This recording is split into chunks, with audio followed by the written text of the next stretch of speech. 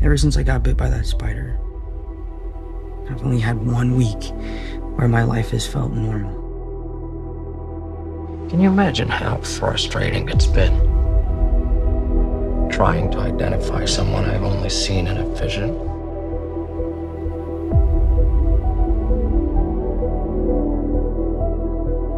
You have power.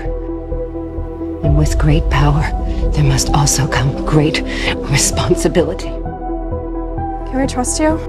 I am the most famous person in the entire world. And I'm still broke. Be careful what you wish for, Parker. Why are you doing this?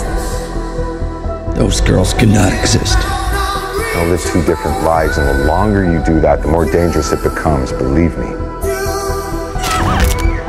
Did you think you could beat me with your mind? My mind. You don't know what you're talking about. Oh, we're in this together.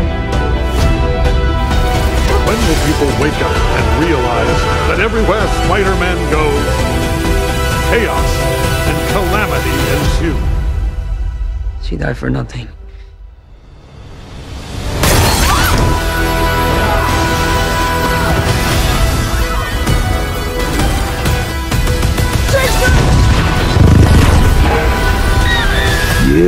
Are the one that killed her.